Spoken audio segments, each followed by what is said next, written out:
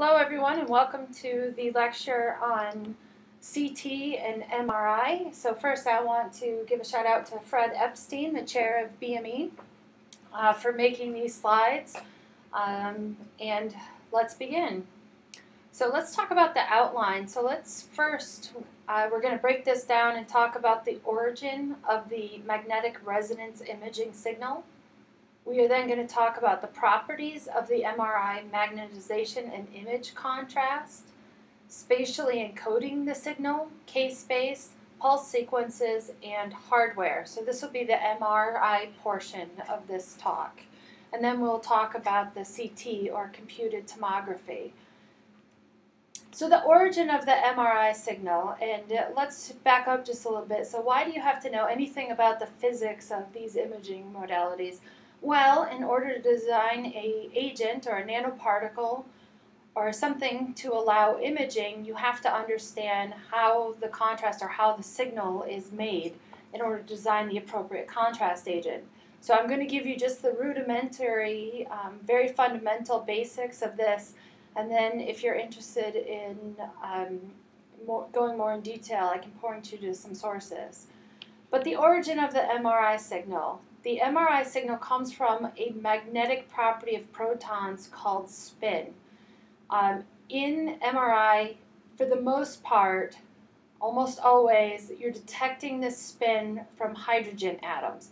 Now, there are other nuclei that have uneven number of electrons, so they're unpaired uh, protons, excuse me, protons, unpaired protons, that results in spin and that you can detect but for the most part, most MRI are protons, hydrogen protons.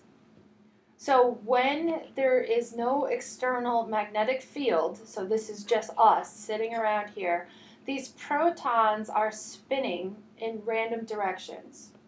There's, there's absolutely no magnetic moment. However, when you apply an external magnetic field, and this is denoted by B0, this is the magnetic field, they align in a low energy state or against a high energy state of the external B0 field. So now all of these are aligned. And because they are all aligned, now you can start to detect these magnetic moments. So again, all of these are spins and they're mag magnetic moments. The transitions can be induced between the two states using radio frequency energy.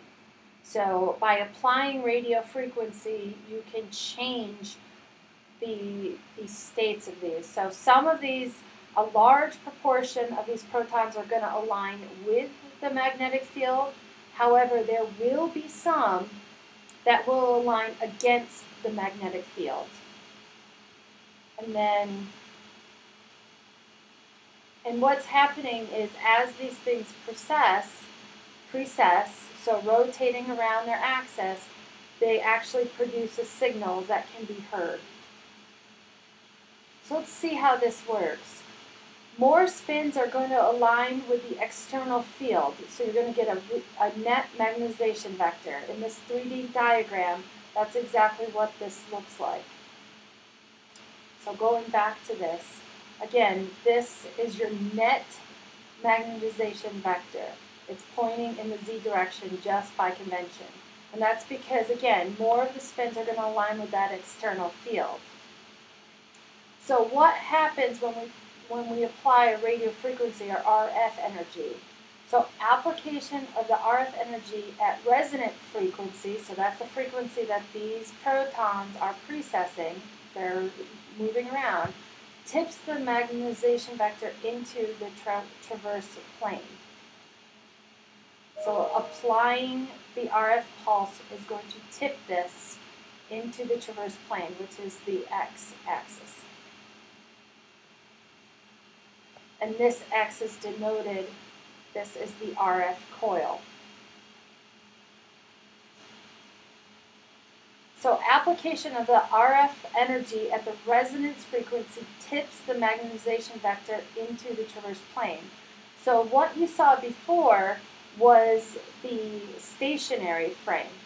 And stationary frame is synonymous with a carousel, looking at it um, as it's rotating around. So you see the horses going up and down, but you also see them um, going around in a circle.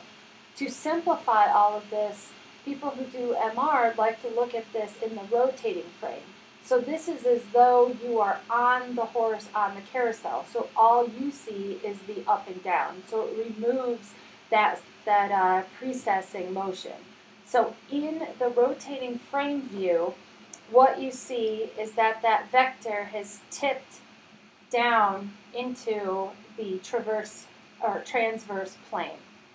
So again, you're not seeing that rotating part, which was the previous movie, you're just seeing it tip into the transverse plane. How do we find the, the MRI signal? The transverse magnetization precesses at what's called the Larmor frequency. So that's the frequency, and it's determined by the um, radio frequency um, at the different magnetic strengths. So at a 1.5 Tesla magnet, it's 63 megahertz. At a 3 Tesla magnet, it would be different, 7 Tesla, 9 Tesla, so on and so forth.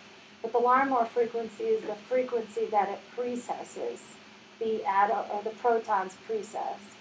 So the precessing transverse magnetization induces a voltage in the RF receiver coil, and this makes a Fourier transform. So as it's listening in, this receiver is listening in, it is making a Fourier transform. So let's talk now. So now we know the origin of the MRC signal. That is the um, aligning of the protons along the magnetic moment and then adding energy to it in an RF pulse to move some of those from the low energy state to the higher energy misaligned state. So let's now talk about the properties of the MRI magnetization and image appearance. So the first part is T1 relaxation. So the MZ, this is the magnetic vector, recovers exponentially with a time constant T1. So when it's tipped down into that transverse plane, after you remove the RF frequency, so after you remove the energy, it is going to recover that net magnetization vector is going to recover at a time constant, and that time constant is T1. T1 depends on the physical and chemical magnetic environment, and T1 is different for different tissues. So, for example, it's 850 milliseconds for myocardium and 1,000 milliseconds for blood. So, it takes longer for the magnetization, the MZ, um, to recover in blood than it takes for it to recover in the heart, for example. Images can be T1 weighted, so depending on the pulse sequence, short T1 appears bright, long T1 appears dark. Um, and so these are your recovery, uh, depending on how you weight uh, the different things. So again, the short T1 is bright here, dark T1 is, or long T1 is dark. Something I want you to know, and this is of high importance for what we're doing here in uh, our class, is that gadolinium is a T1 shortening contrast agent. So gadolinium is chelated by this molecule DTPA. It's a heterocyclic uh, chelator. DTPA can be coupled or conjugated to nanoparticles where it can then chelate gadolinium, and this makes it a T1 contrast agent. So gadolinium is a T1 shortening contrast agent. When gadolinium is administered and accumulates in a tissue, it will make the tissue appear bright on a T1 weighted MR image. There's a second property of magnetization that we want to look at, and that's T2 relaxation. So mxy decays exponentially with a time constant t2. So this is not going back up along the y-axis or along back up along the z-axis, but it is relaxing very quickly along the um, along the m the xy plane.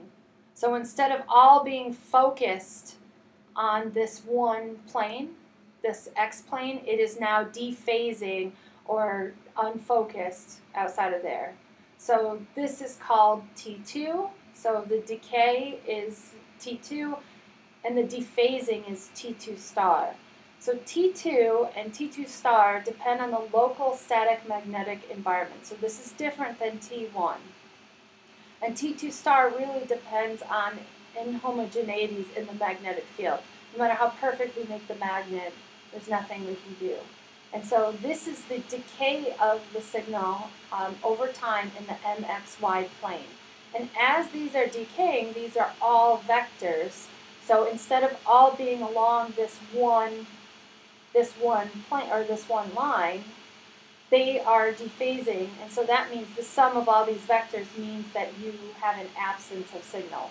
So it starts off when it's all along this plane at a very high signal, and then as it de decays or dephases, you can see that the signal decreases because these vectors are now out of phase um, and not showing up in the signal. So images can be just like T1, they can be T2 weighted. Long T2 appears bright, short T2 appears dark. So this is different than the T1. T2 of myocardium is 60 milliseconds, so this is going to be dark. And T2 of blood is 200 milliseconds. And so here, if you look at this pericardial cyst, uh, this must be along T2, a fluid must be along T2 because it's bright. So let's talk a little bit about types of magnetism um, because these are some of the other contrast agents that we can use. And the superparamagnetic nanoparticles can be used to change T2 star weighted sequences. So anything that accumulates a superparamagnetic uh, particle will become dark on a T2 star weighted image. So paramagnetism is positive induced field parallel to applied field it has a stronger effect that is mediated through unpaired electrons. It shortens T2 and shortens T1 if accessible by water protons. And gadolinium DTPA is a paramagnetic contrast agent. Gadolinium is most often associated with T1 contrast. Superparamagnetic, on the other hand, is magnetic dipoles of unpaired electrons of adjacent atoms interact with each other in crystalline structures. These form magnetically stable domains, and it's called superparamagnet, superparamagnetism. And adjacent domains interact with each other, producing ferromagnetism. This has very strong effects, and so the sensitivity, the amount you can detect of a superparamagnetic or a ferromagnetic nanoparticle is much higher than a gadolinium nanoparticle. So if you need to image something at really low concentrations, an iron oxide crystal is much better than a gadolinium um, conjugated nanoparticle. However, because it's dark, the dynamic range is very limited, and so you have to do a pre and post scan to figure out how dark it was before you injected it. And for that reason, most people don't like the absence of signal. They like the gain of signal that's in the gadolinium. So now we've got the origins of the signal and the property of the signal, so let's figure out how we're spatially encoding the signal. So this is slice selection, and this is a term called voxel. These are volume pixels. And so these are 3D pixels, not just 2D pixels. So a voxel is dependent the size of the voxel is dependent on the imaging modality that you're using. Um, and so you need to have enough signal in a voxel in order to be able to observe it or see it in the imaging. However, if you make it too big, then the resolution or the distance, so resolution, is a really important term, resolution is the distance um, between two structures that you can see. So when when the two structures are two structures and not just one, so resolving it from each other, um, that's dependent on the voxel size. So if you have large voxels because your signal is really low, then that means your resolution is really terrible because you you can't see beyond, you can't see inside of a voxel. Um, it's like the difference between the old school um, Mario Brothers pixelated, oh, and even Minecraft pixelated versus the really nice resolution and graphics of some of your PlayStation games that uh, are out there now. The magnetic field gradient will equate position and frequency. So you can apply a magnetic field gradient and how the the different voxels see that magnetic field gradient can encode position and then frequency. And then the RF pulse can excite um, the frequency band. So this call, this is a position band. So it allows us to spatially encode the MR signal, which gives you a 3D um, reconstruction. And the other term that I really want you guys to know is tomographic. So tomographic is 2D slices that can be um, that can be put together to create a 3D image. Um, this is the difference between X-ray and CT. So magnetic field gradients, again, are used to equate physical position with the frequency of the transverse magnetization. So here's your sample, and it is in, um, it's exposed to a different field gradient. What that means is each of these protons are going to start spinning at different frequencies. And depending on what frequency or what field gradient, part of the field gradient they saw, that will encode for the position of where these protons are. So they can equate the physical position with the phase of the transverse magnetization. So again, that's a really important concept that these field gradients are used to equate the physical position with the phase of the transverse magnetization. This allows this to be tomographic and allows it to be 3D. So we've got all of the data, we've spatially encoded the signal. What does the image actually look like? So there has to be a lot of imaging reconstruction and imaging processing. It's not a, it, it's not like microscopy where you can look through and with your naked eye you can see the image and that's fine because your eye can see that. That's not how MRI works we cannot uh, figure out voltage and then transform that into something. And so there's a lot of work done with um, transforming this into an image that we can recognize. And so with the reception of the magnetic of the MR signal, the precessing transverse magnetization from the entire sample induces a voltage in the RF coil. And that is this equation down here, and this is a Fourier transform. So image reconstruction using the Fourier transform, so it starts out in k-space, cycles per um, minute, cycles per minute, and then using the set of the 2D Fourier transforms, you can get position by image space. So it transforms this into something that you can recognize. In this case, this is the heart, the apex of the heart. So here's k-space and then image space.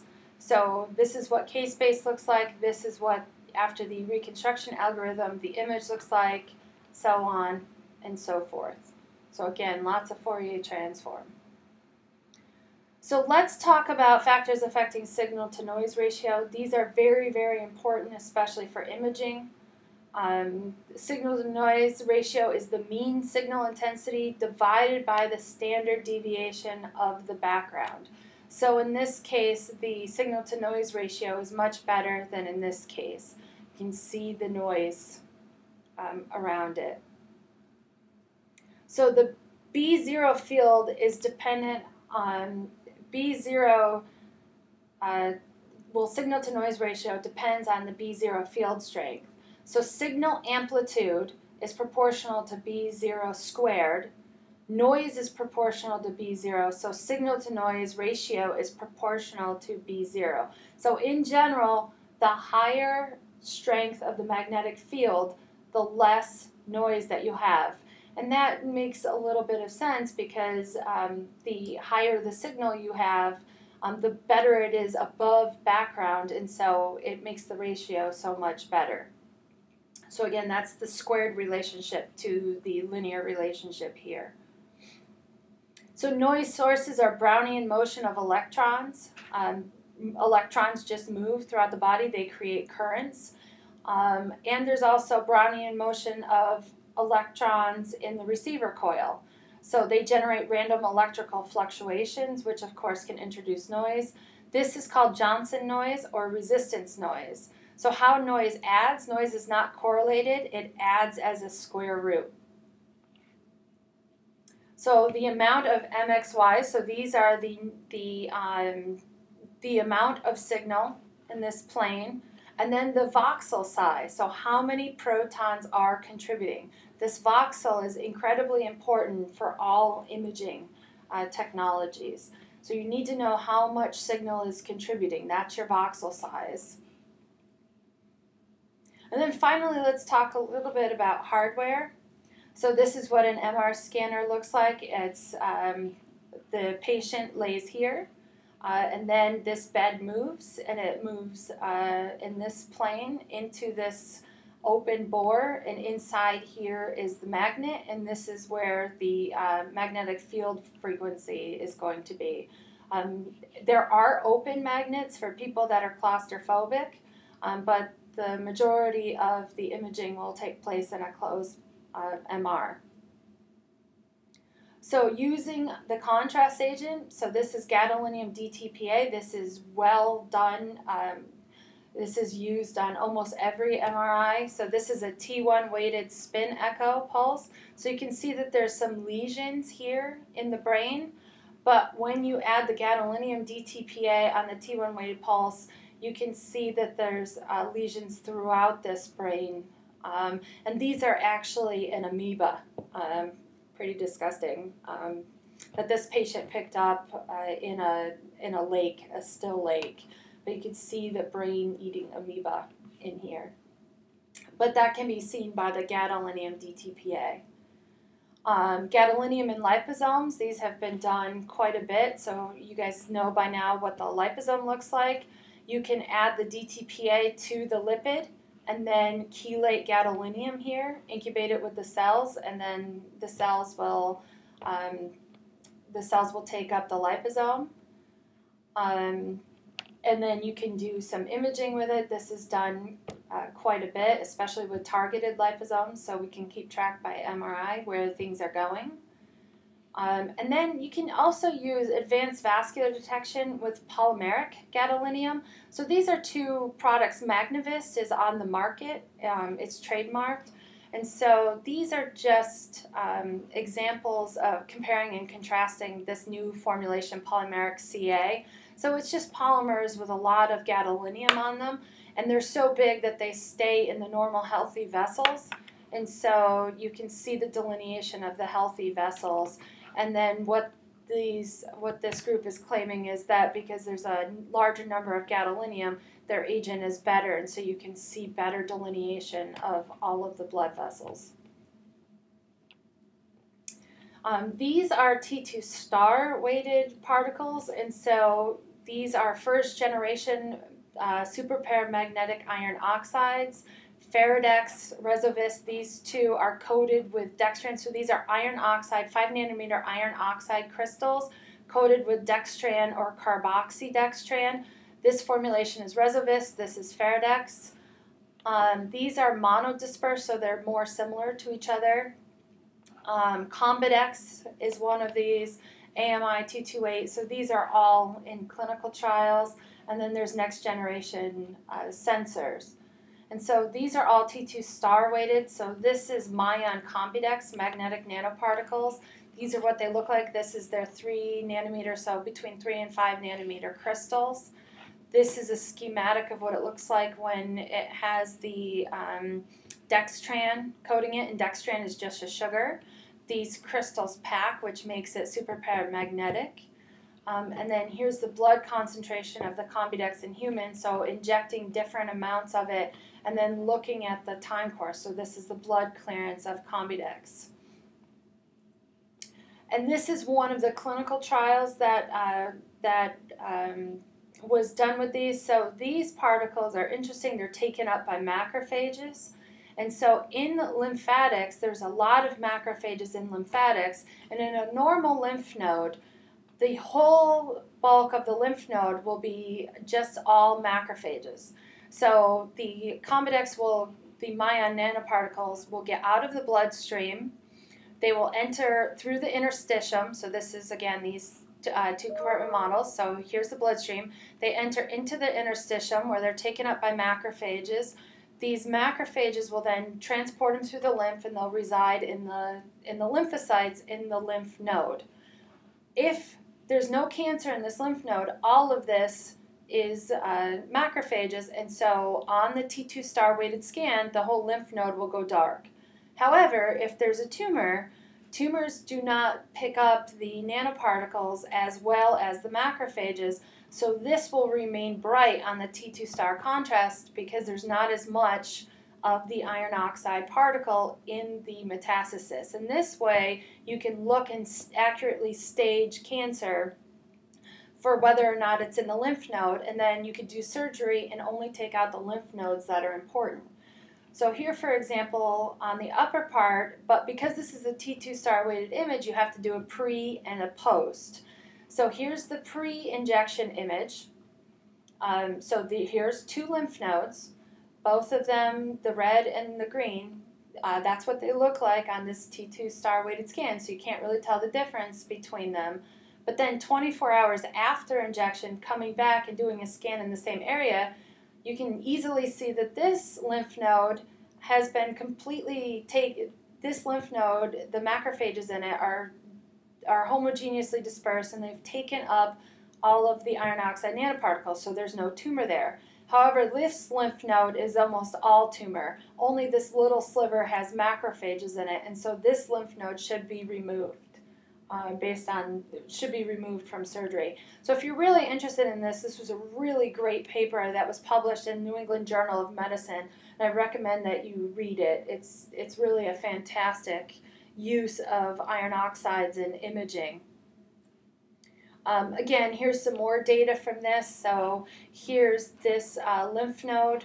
This is a normal lymph node. It went all dark. Here's a lymph node that only partially went dark. And then the same thing with here. Here's a lymph node, and there's still little parts of the tumor in there. So after removing them, you can do H&E, hematoxin, hematoxylin and eosin staining um, and look, and again, indeed, this is all normal uh, lymph node. This is all tumor, and then here's a subsection of this that showing that there is some normal, but some tumor also. So this illustrates again the power of this type of technique. So here's what we like to do with imaging. We really need to know the sensitivity, specificity, and accuracy. Sensitivity is the number of um, true positives. Specificity is true negatives, and then accuracy is a combination of both. So there's actually equations for this. So sensitive sensitivity is calculated by true positive over true negative plus false positive. So that is the percentage of of times that it picked it up and that it was accurate. And the only way to know this is by having a gold standard, and the gold standard in most cases is histology. So removing all those lymph nodes and looking and seeing. So that's the sensitivity. Specificity is true negatives over true negatives plus false positives multiplied by 100%, and that tells you exactly the sensitivity and specificity. So in this MR, it's 100% with the iron oxide particles for sensitivity specificity, and it's 97.5% um, accurate. And uh, again, these all have to be compared to the gold standards. So in summary, we talked about the origin of the MRI signal. Uh, we talked about the properties of the magnetization and the image appearance. We talked about the gradients to spatially encode the signal.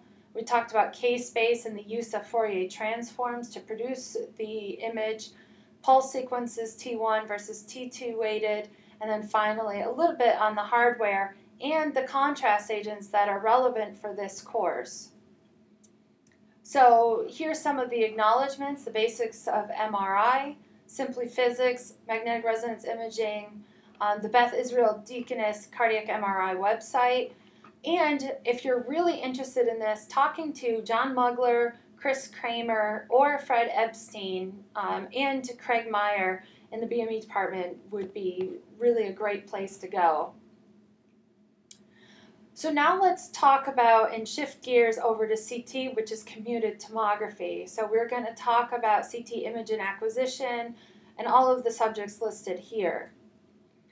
So unlike MR, which is an inherent um, proton inside the body, this is X-ray. So this is 3D X-ray imaging. So here's a point-like X-ray source, and then from there it goes through the body and then it's detected. The traditional 2D X-ray imaging does not spatially encode, so it collapses all of the signal that you could get from this onto a single thing. So really that's just looking at bone.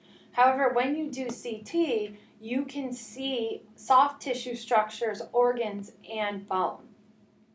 So problems with the 2D radiography, you get a superposition of structures, so you can't tell they're all on top of each other. Reduced contrast in thick sections, the x-rays will start to scatter um, and you can't resolve 3D structures. And here's a difference between planar radiography and CT. So radiography has better spatial resolution. That's because you're using more of the signal, and I'll tell you why in a little bit why we have to throw out some of the signal for CT. And it has everything to do with spatially encoding the signal. You can use a lower dose, it's less expensive, However, there's lower contrast and it superimposes structures. CT has a lower spatial resolution, so again, that's the difference in the size difference or the distance between, um, you can tell the difference between two structures. You have to use a higher dose and it's more expensive. However, it has higher contrast and you can really look at different uh, structures, so you can do that tomographic slicing. So again, this is projection versus slice. So this is a 2D um, radiography or an X-ray. You can see that the the lungs and the rib cage and the liver and the heart, they are all superimposed on each other. But here, doing the 3D, you can go through and look at one slice. So now you can get the right ventricle, the right atrium, the, the um, SVC. You can get some of the soft tissue structures like the liver, and over here is the stomach here's your uh, aorta, that's your saphenous vein, um, so on and so forth. So here's a lot of terms for CT. So the volume to be scanned, just like MRI, it's it's divided into a matrix of 3D volume elements. Those are voxels. The planar X-ray projections are obtained over a wide range of angles, and a view is defined by the location of the X-ray source. For each view, each detector measures the total attenuation of all the voxels lying along the line between it and the source. These lines are rays, and the measured total attenuation is a ray sum. Attenuation is the amount of absorbance and scatter. So think of it as light. So as those rays are going through, if it's a dense tissue like bone, it's going to absorb it and it could potentially scatter that. So but if it's not a dense tissue, kind of like the lungs, it will go all the way through, so it will hit the detector. So attenuation is how much it, um, it, it started with versus how much hits the detector in general. So taken together, the set of ray sums for a particular view is called the attenuation profile, and you need this to build the 3D image. So here's, I'm not going over all of the different CT scanners, but here's a fourth generation. This X-ray detector will rotate inside the stationary detector ring. So on the outside, these yellow parts are the detector, and this green part is the X-ray source, and it will rotate um, in the direction of the arrow all the way around. This is what the parts look like inside, taken apart. So again, here's the detectors on the outside, and then there's the rotating uh, X-ray source. So here's one view. Here's the source. Um, these are the rays. The sum of all of this, these points along this ray is your ray sum. And then here is your detector. So this is one view. Here is the angle and then this is the slice of that 360, and then there's the view. And this is computed as a profile. So that's the ray sum, or the attenuation. The profiles from all of the views are used to calculate the 3D image using a reconstruction algorithm. So in BME and engineering and physics, there's a lot of work done on these reconstruction algorithms. You want them to be as fast but as accurate as possible. So after reconstruction, each voxel will contain a single number, its CT number, and this number is proportional to the attenuation in the corresponding part of the scanned volume. So 2D slices from the reconstructed volume or 3D rendered portions of it are viewed. So you can look at it as slices or you can put all of those 2D slices together to make up the 3D portion.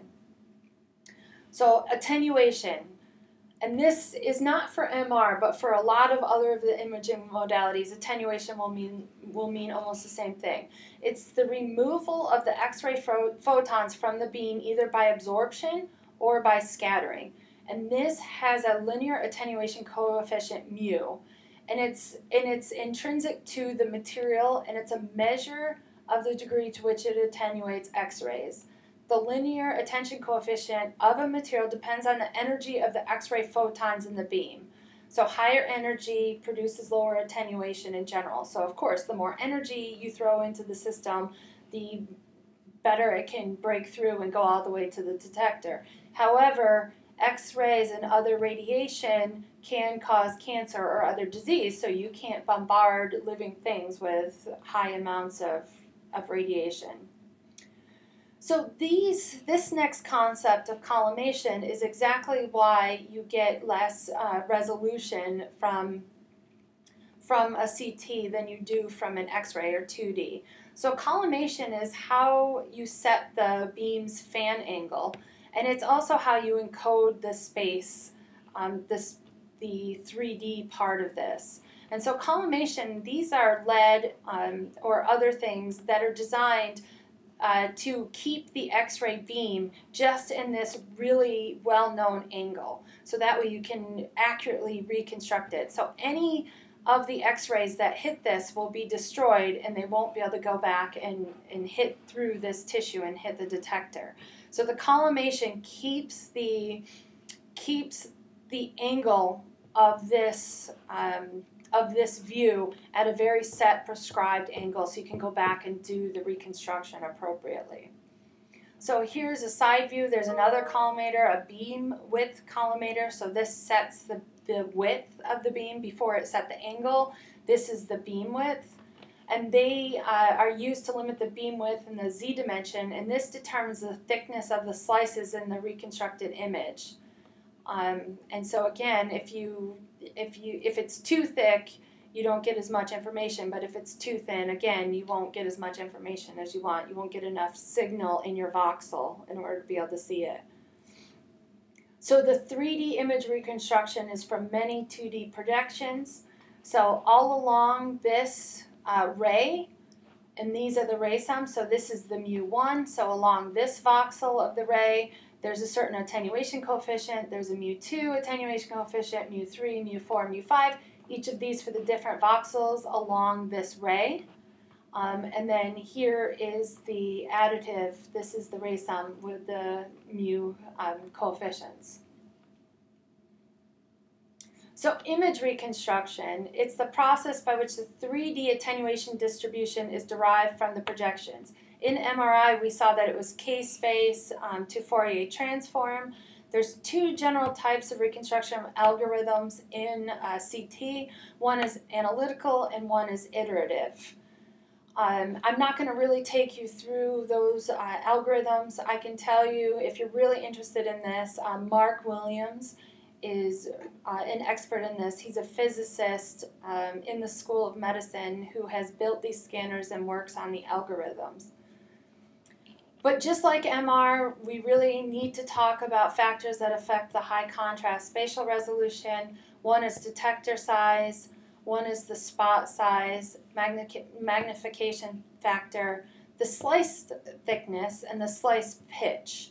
So these are the resolution of these reconstruction algorithm. So if you have to throw out too many, too much of the signals, then um, you don't get as much um, contrast, um, the image matrix size, um, and then the total number of, of rays acquired. So really it's the total number of, of rays uh, acquired. And the factors affecting noise. So you want as high of signal as possible and as low of noise. So most noise in CT images X-ray quantum noise. It's Poisson distributed. It's determined by the number of detected X-ray photons per voxel. So image noise is increased if either the total number of detected X-rays or the volume size is decreased. So less signal, you get more noise. So let's talk a little bit about radiation dose in CT, factors affecting dose. This is the target or the filter selection, um, the MAS selection, amount of slice overlap, um, and patient size. So annual dose limits, because this is radiation, uh, people are limited in their dose. So occupational, these are people who work with CT scanners, the CT technicians. Whole body is 50 MSVs a lens, which is your eye, is 150, everything else is 500 in cumulative because radiation damage just doesn't go away. You don't repair that, it lasts forever. It's 10 times the amount of the age. However, for the public, that's if you and I were going to get a scan, the whole body is 5 to 1, infrequent to frequent, and lens, skin, and extremities are 50. So we are allowed a much, much smaller dose. Um, and it's really important to see the typical organ radiation doses from various radiologic studies. So here's your dental radiography. The relevant organ is the brain. Um, and so dentists are actually using less of the x-rays to do the dental radiography um, because of the exposure to the brain. Um, screening mammography, uh, adult abdominal CT, you can see that these CTs, neonatal CTs, carry a pretty high dose of uh, radiation. And so they're not just benign things. It, it's pretty safe, but it's not benign. There are contrast agents for X ray CT. They're not used very often. Um, one is iodine, the other is gold, and the other is fluorine. So, gold we've seen with the magnetic nanoparticles. You can put iodine on different materials, uh, some of the nanoparticles, and conjugate iodine to the molecules, and then also fluorine. So instead of using F18, which I'll teach you for the PET, um, you can use the um, other forms of fluorine that's not radioactive, and it will be X ray or CT visible.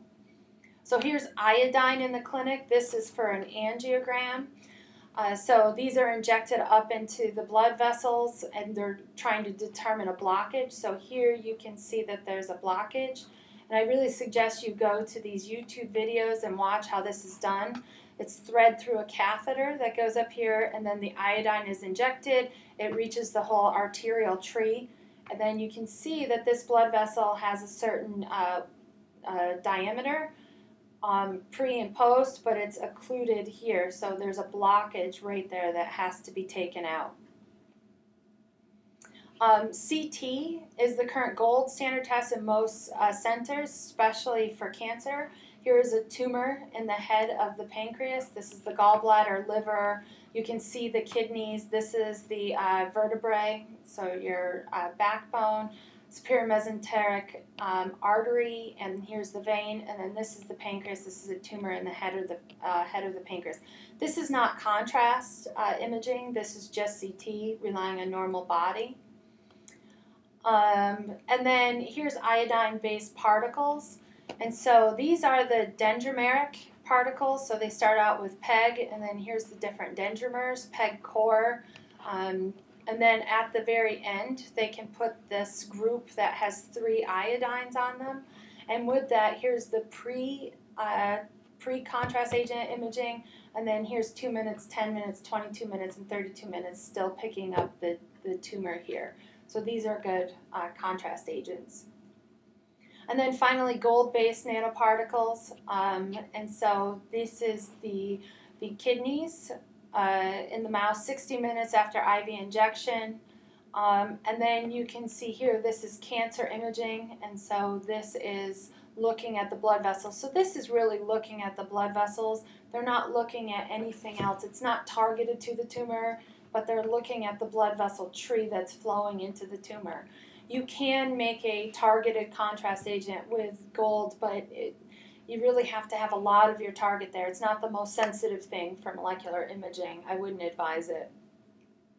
So that's all um, that I have for today, and next lecture will be on, um, on CT and SPECT.